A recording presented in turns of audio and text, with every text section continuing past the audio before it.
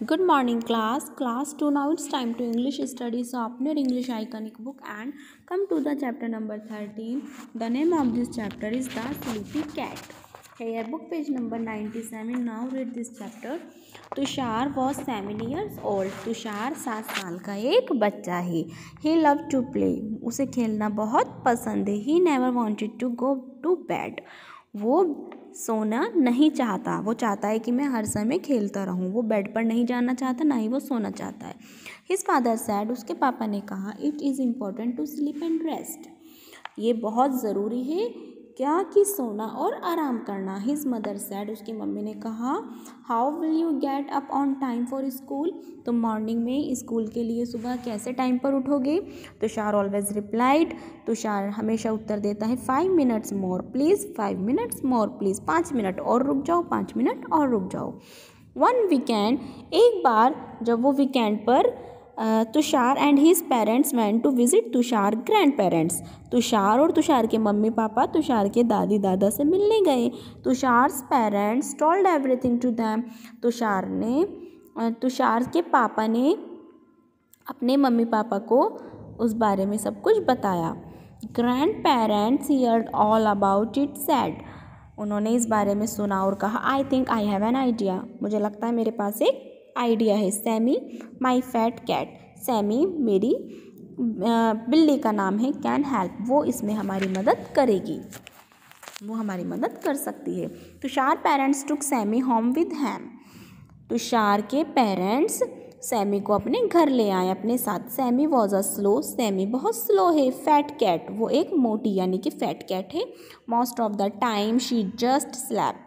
Slept वह सारे ही समय सोती रहती है। दैट नाइट उस रात एट बैड टाइम जब उनका सोने का टाइम हुआ, Tushar again did not want to go to bed Tushar फिर से बेड पर जाकर नहीं सोना चाहता था। टाइम से dad said Sammy would help Sammy इसमें हेल्प करेगी. सेट तुषार फादर तुषार के फादर ने कहा सम आवर्स लेटर कुछ घंटों बाद Tushar final decided to go bed कुछ घंटों बाद खेलने के बाद तुषार ने अब सोना के लिए सोचा। बट वॉट अ सरप्राइज़ लेकिन अब क्या सरप्राइज़ है? When he entered his bedroom जैसे ही उसने अपने बेडरूम में एंटर किया, प्रवेश किया Sammy was sleeping on his bed Sammy उसके बेड पर सो रही थी। She was snoring like a train snoring खर्राटे ले रही थी। जैसे बहुत तेज़ एक ट्रेन चलती है ना, बिल्कुल ऐसे तेज़ तेज़ खर्राटे ले रही थी। Tushar try to shift Sammy. Tushar ने कोशिश करी सैमी को शिफ्ट करने की बट लेकिन he could not move her not even an inch लेकिन वो उसे एक इंच भी नहीं हिला सका। दैट नाइट उस रात तुषार हार्डली स्लेप्ट तुषार बहुत मुश्किल से सो पाया। Sammy pushed him into one corner of the board of the bed Sammy ने उसको पुश कर करके एक ही कॉर्नर पर बैठ के पहुँचा दिया था। द नेक्स्ट डे अगले दिन द सेम थिंग्स हैपन फिर से यही हुआ। Tushar was tired and sleepy but Sammy was on his bed when he went up फिर से क्या हुआ? तुषार बहुत थका हुआ था, तुषार सोना चाहता था बट सैमी उसके बेड पर फिर से पहुँच गई थी।